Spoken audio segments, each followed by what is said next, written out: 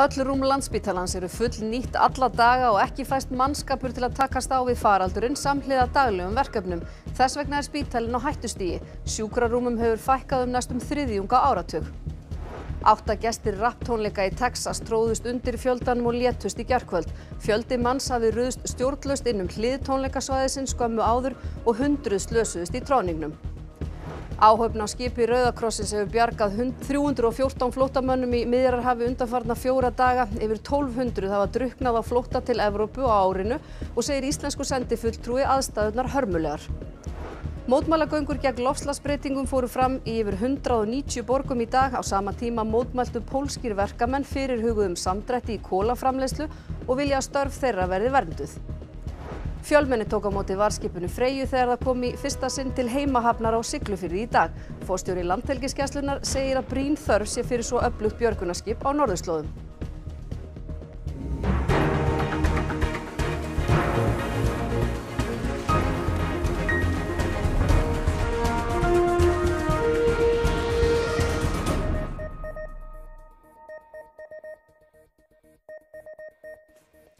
Gott kvöld. Vandi Landspítalans snýst ekki um skort á fjárveitingu heldur mönnun og aðstöðu. Þetta segja fjármálaráð þeirra og fóstjóri Landspítala.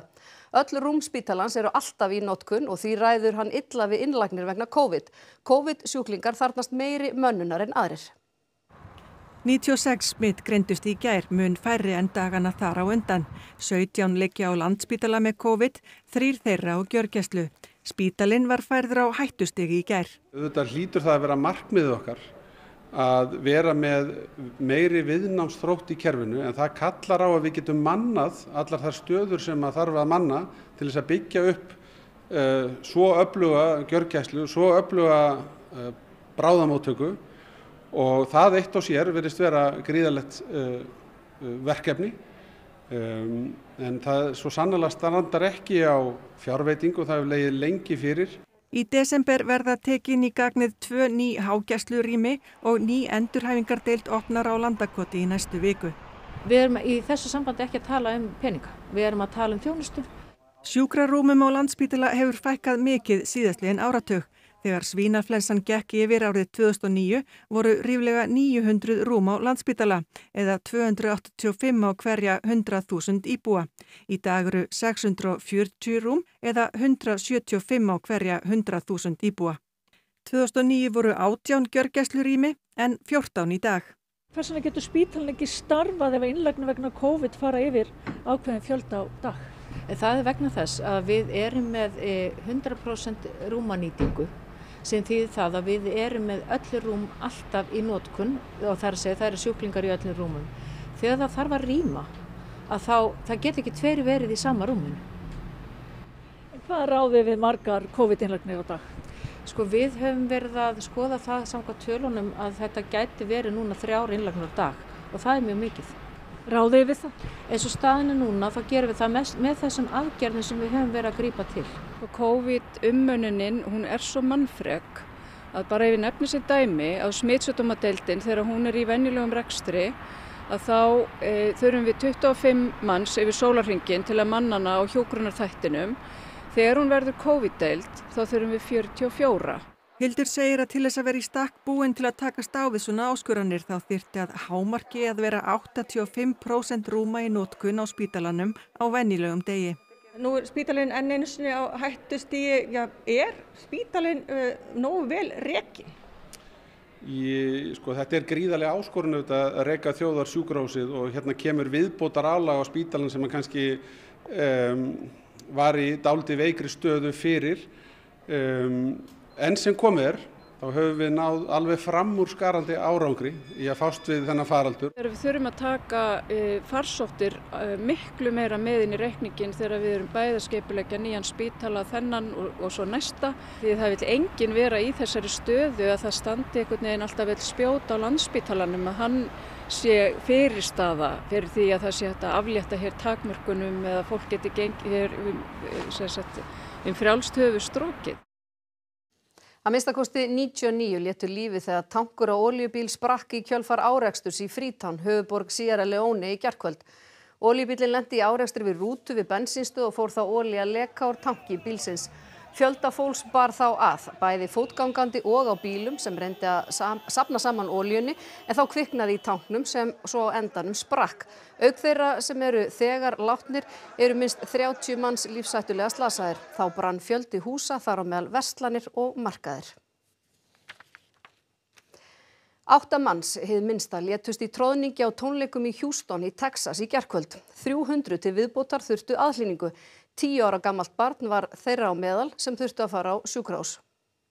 Rapparinn Travis Scott tróð í gerkvöld upp á eigin tónlistarháttíð Astroworld í Houston á samt Drake öðrum frægum rappara. Tónleikarnir höfðu verið stöðvaðir nokkrum sinnum vegna áhorvenda uppi sviðið sem voru greinilega í vandræðum og öryggisverðir fjallaðu. Eftir klukkutíma var hins vegar komin upp alvarleg staða. The crowd began to, to compress towards the front of, of the stage, okay? And that caused some panic and it started causing some injuries. People began to fall out, uh, become unconscious, and it created additional, additional panic. Slökkuliði var þá kallað á staðin en þá var lögreglan þegar byrjuð að endurlífga nokkra gesti. Alls voru 23 fluttir á sjúkrahús, þar af 11 í hjartastoppi. Þau átta sem létust voru öll í þeim hópi. Þá fengum 300 manns aðlýningu á staðnum. They're working to identify all the victims, but what has been made clear, the folks that were transported, some as young as 10. Um 50.000 gestir voru á svæðinu. Ekki er ljóst hvað olli þessum tróðningi.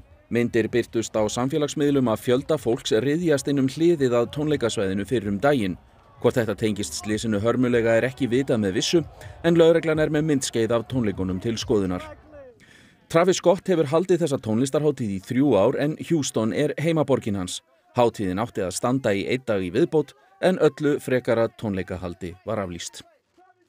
Kona sem er óvinnufær vegna daglegra verkja fær ekki þjónustu sjúkraþjálfara því hún býr á Ólásvík. Vegna þessa uppfyllur hún ekki kröfur um fjárhagslegan stuðning og hefur verið tekjulegs síðan í sumar. Aneta Kusinska flutti til Ólafsvíkur með manni sínum og þremur börnum fyrir 14 árum. Þar hefur hún unnið lengst af í fiskvinnslu en fór svo að kenna eimsla í baki vegna brjóskloss. Aneta fór í aðgerði í lok árs 2016 en verkir tóku sig aftur upp og í mægi fyrra neytist hún til að hætta að vinna. Í februar byrjaði hún að fá endurhæfingarlíferi hjá Tryggingastofnun eftir að hafa nýtt sér úrræði hjá vinnustad og stjættarfélagi. Hún sótti þá tíma hjá sjúkraþjálfara í grundarfyrði, sá fór síðan í leifi í ágúst og hefur ekki komið tilbaka. Síðan þá hefur Aneta verið á byggðlista eftir sjúkraþjálfun í Stikisólmi. Problem jest teraz ten właśnie, że ja teraz, y, będąc na tej rencie rehabilitacyjnej, na którą skierował mnie lekarz, bo ja nie mogę pracować, ja nie dostaję pieniędzy, bo nie mam fizykoterapii. I tu jest też właśnie problem i to chciałam właśnie nagłośnić po prostu, żeby ktoś się tym zainteresował, żeby ktoś dał nam tutaj fizykoterapeutę do Olaswiku czy Grundafiordu, a nie, że jest jeden fizykoterapeuta, który wyjeżdża sobie na 4 miesiące na urlop i my zostajemy bez pieniędzy i bez leczenia, tak? Aneta hefur því verið tekjulegs síðan í ágúst. Þrátt verið vottunum að hún hafi engan aðgangað endurhæfingu fæst kerfinu ekki hnikað. Sytuacja może by nie była dla mnie tak też ciężka, gdyby mój mąż pracował. A on też jest na zwolnieniu lekarskim i też te pieniądze są bardzo małe, tak? Hún hefur kært máli til úrskurðarnemnda velferðamála en hún segir óvissuna yfirþyrmandi og vill ekkert frekar en fá að mæta aftur til vinnu. Przecież to nie jest moja wina, że nie to, że ja nie chcę chodzić na tę fizjoterapię, ja po prostu nie mam gdzie chodzić. I dlaczego ja mam być bez pieniędzy przez kilka miesięcy, tak? I nie wiem, ta niepewność, kiedy nawet on wróci, czy ktokolwiek tutaj będzie, to, czy to nawet by trwało rok, to też ja bym była bez pieniędzy przez rok czasu. Za co ja mam się leczyć? Jest to bardzo naprawdę ciężkie i czuję się jak taka stara kobieta, która mając 45 lat nie mogę nic robić. Rúmlega 1200 hafa drukknað á þessu ári við að reyna að komast yfir miðhluta miðrarhafsins til Evrópu, mun fleiri en í fyrra. Síðustu fjóra daga hefur skip á vegum Rauðakrossins bjargað 314 mann sem voru hætt komin á lélegum bátum undan strönd Líbíu. Rauðikrossin rekur skipið með SOS Mediterranean og lýsir læknir á skipinu því þegar hún heyrði hvernig flóttafólki á einum bátnum tókst að gera vart við sig með blístri í myrkrinu. Uh, portside stern in the middle of the night. We alerted the team and we're in the midst of a close contact rescue.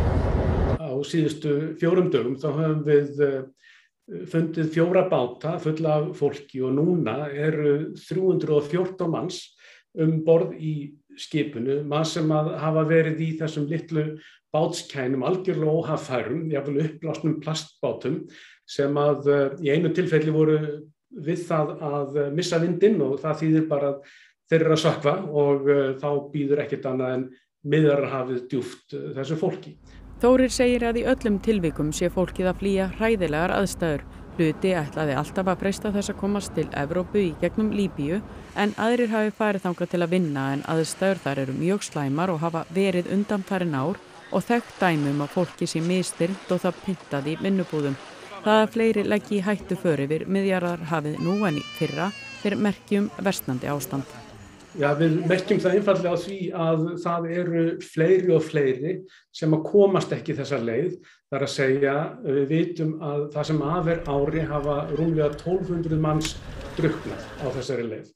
Í fyrra á sama tíma voru það 715. Þannig að það eru fleiri sem eru að leggja út á hafheldurinn í fyrra. Alls ekki að margir og fyrir 5 eða 6 árum en samt fleiri enn í fyrra og afleiðingarnar eru þær að það eru líka fleiri sem að ná ekki alla leið. Þórir segir ástandið hrikalegt og þörf sé á mun fleirum við björgunastörf. Sérfræðingar á landsbítalanum eru að skoða hvort flytja í inn nýtt lif við COVID í töfluformi. Það gæti reynst vel fyrir þá sem hafa greinst með veiruna og komið í veg fyrir að þeir þurfa að leggjast inn á sjúkrahús. Livjastofnun þyrti að veita undanþáu fyrir notkun livsins. Forstjóri Livjastofnuna segir töflulifið alveg nýtt í baráttunni við COVID-faraldurinn. Tök séu á að veita undanþáuleifi ef brína nöðsin beri til. Lifið heitir Molnupíravir og er unnið úr einstofna mótefni. Talið er að spítala innlögnum geti fækka til muna. Breska Livja eftirlitið hefur samþygt lifið. Smittsjúkdóma deild landspítalans eða sóttvarnalæknir þurfað óska eftir undanþáuleifinu. Þetta er nú alveg sem fylgjast mjög vel með og, og, og hafa vitað að þetta er í farvatninu og þeir eru, að, þeir eru náttúrulega með einhver gognum þetta og eru, eru að skoða þetta bara eins og, eins og allur heimurinn. Vísindanemnd Evrósku Livjastofnunarinnar mun að líkindum skoða lifið sem er frá livjaframleiðandunum MSD í næstu viku. Vonir á öðru töflulifi í janúar frá Pfizer. Miðað er við að tabla sig gefin í fimm daga þegar fólk er smitað og fær enkenni. Þetta er ekki fyrirbyggjandi. Þú verður að hafa smitast og verður komið með enkenni og það er kríteri um það að þú sétt með einhverja undirlikjandi þætti, að minnst ákvæmstu einn, sem gerir það verkum að þú myndir mögulega leggjast hérna á sjúkrós eða deyja af veirunni og það, er það, sem, það, eru, það eru mælingarnar. Þetta fækkar innlögnum og andlátum, svoleiðis að það er það sem er, er var mælt í þessum klíniska rannsók. Og þá væri nú mikið fengið væntanlega? Já, það er náttúrulega mikil, mikil fengur og það eru, það eru náttúrulega allir eins og við og, og, og öll Evrópa og Bandaríkina reyna að létta og líka þarna sjúkurhúsunum. Mótmælagöngur gegn lofslagsbreytingum fóru fram víða um heim í dag. Hollenskur mótmælandi óttast að landið sökkvi í sæ. Pólskir kólanámumenn mótmæltu hins vegar á sama tíma áætlunum um að framleiða minna af kólum. Alls voru mótmælagöngur á yfir 190 stöðum um allan heim. Í Glasgow þar sem loftslagsraðstefnan fer fram Sarnaðist fólk á öllum aldrei saman og þó að margir væru reyðir vegna aðgerðarleysi stjórnvalda örlaði á bjart síni.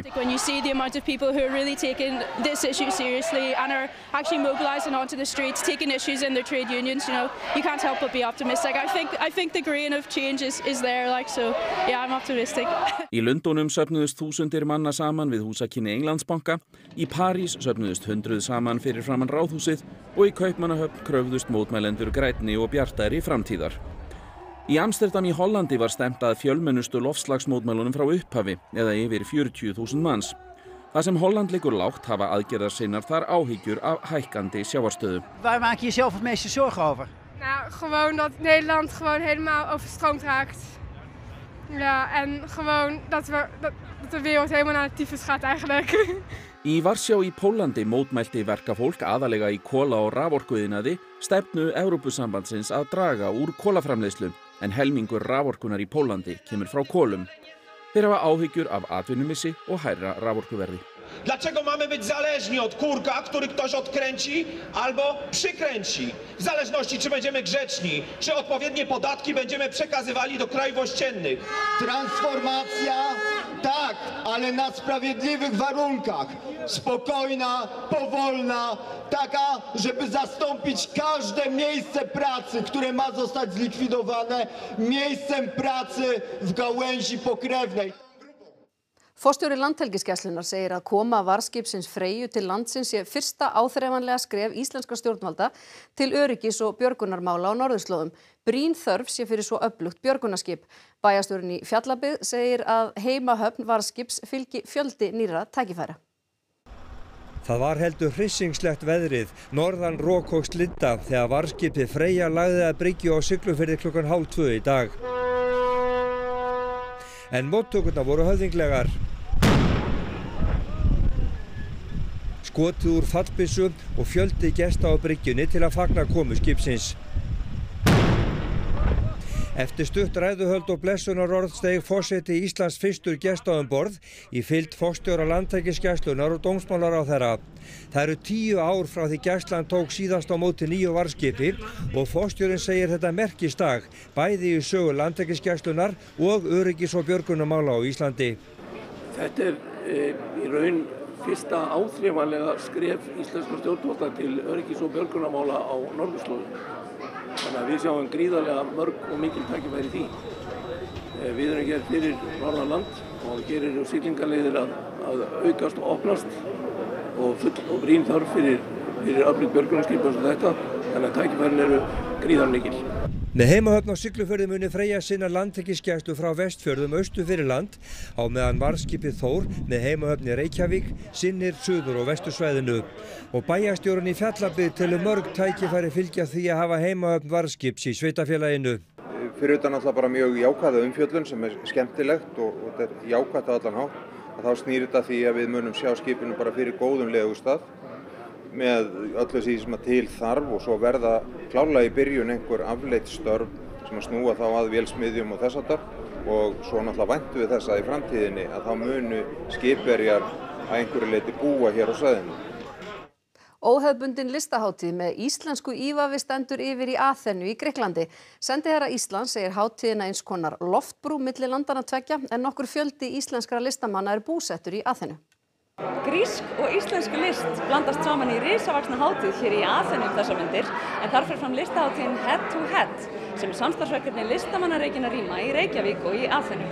Fyrir hluti hátíðarinnar fyrir fram hér og nú en svo setni hösti 2023 þegar grískir listamenn koma til Íslands.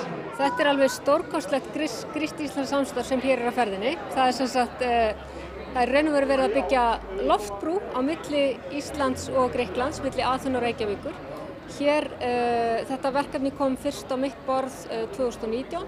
Verkefni hefur hins vegar vaksið mjög frá því að kom fyrst á mitt borð. Nú eru 45 listamenn sem taka þátt í þessu, 11 síningarými og svo verður þetta speiklað aftur til uh, Reykjavíkur. Ég meina þótt að við séum búin að vinna þessu síðan 2018, þá er þetta í rauninni upphafið á ákveðinni tilraun. Við vitum ekkert alveg hvað er að fara að gerast þarna. Við erum bara búin að tefla saman ákveðnum listamennum, ákveðnum rýmum og við vitum ekkert hvað verður úr því. Það eru skúltúrverk, ljósmyndir, vídeoverk, gjörningar, það er nú þó nokkuð að gjörningum. Mm -hmm. Þannig að það er bara ímsum toga. Já, það er náttúrulega búið að vera mjög skemmtilegt, þetta er bara svona eins og skrúðganga, hérna, það fara allir lappandi og það er náttúrulega eflust hérna, uh, sett þannig saman að það eru galleri sem er næst hvort öðrum sem opna það í kvöld eins og þrjú þannig að það hefur verið svona skrúðganga sem er bara á milli, bara á milli umferð, milli bílana sem er alltaf magnar. Það, ég er búin að, svona, að heyra á greikjónum, það hefur ekki verið mikið af svona stórum viðbörðum og, og, og þau eru ofsalega glöð og, og fannst einmitt þess að ganga á milli rýmana svo falleg. Fram á jólum geta áhugasum séð ballett uppfærslu af snædrottningu Hási Annesens í Tífóli í Kaupmannahöfn. Sýningin hefur ekki síst vakið aðtikli vegna búningana en sjálf Margrét Þórhildur Danadrottning hannaði þá. Hún heldur upp á 50 ára valda afmæli sitt í januar. Jamen, jeg synes jo, det er en fantastisk oplevelse at være med i sådan et arbejde netop, og, og være en del af et hold, og vide, at uh, man har et rigtig stort ansvar, når man har kastet sig ud i det. Så skal man gå hele vejen og føre det ende. Þann 14. janúar verða liðin 50 ár frá því að Margrét Þórhildur varð drottning í Danmörku. Fram að því geta gestir í Tífóli í Kaupanrefn síð búninga úr smiðudrottningar í ballett uppfæslu á snædrottningu Hási Andersens. Det giver hende et øh, frirum i øh, tilværelsen. Øh, Det giver hende også en masse inspiration, som hun kan bruge i sin gerning som, som regent. Þetta er nefnilega ekki í fyrsta sinn sem Margrét Þórildur leifir öðrum að njóta hugverka sinna. Hún hefur myndskreitt bækur meðal annars Ringadróttin sögu og hann að flíkur fyrir sjálfa sig. Þá hefur hún áður hann að búninga fyrir konunglega ballettin. Det er altså eh, en af de ting, som, som øh, altid har optaget mig meget, og, og så har jeg fået den fantastiske chance, øh, ikke mindst her i Tivoli i, i de sidste adskillige år, at få lov at være med i sådan nogle opgaver. Og det, det er en stor udfordring, men det er sandelig også en dejlig oplevelse hver gang.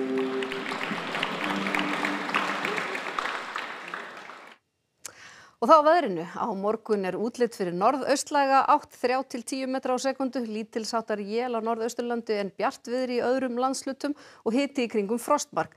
Anna kvöld þyknar upp og hversir talsvert sunnan til og fer að rigna um miðnetti. Elin Björk Jónasdóttir veðurfræðingur fyrir nánar yfir veðurhorfurnar að loknum íþróttum sem Eva Björk Bendistóttir sér um í kvöld.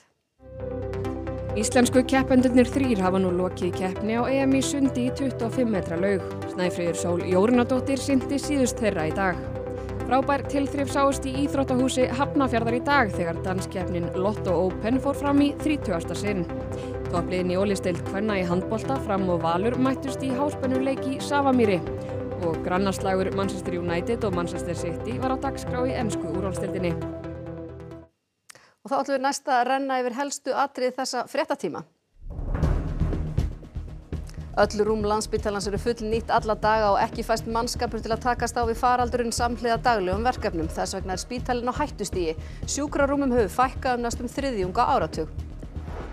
Áttagestir rapptónleika í Texas tróðust undir fjöldanum og létust í gerkvöld. Fjöldi manns hafði ruðst stjórnlust inn um hlið tónleikasvæðisins skömmu áður og hundruð slösuðust í tróningnum. Áhöfn á skipi Rauðakrossins hefur bjargað 314 flóttamönnum í Miðjarðarhafi undanfarna fjóra daga. Yfir 1200 hafa drukknað á flótta til Evrópu á árinu og segir íslensku sendifulltrúi aðstæðunar hörmulegar. Mótmælagöngur gegn lofslagsbreytingum fóru fram í yfir 190 borgum í dag. Á sama tíma mótmæltu pólskir verkamenn fyrir hugðum samdrætti í kólaframleyslu og vilja störf þeirra verði vernduð.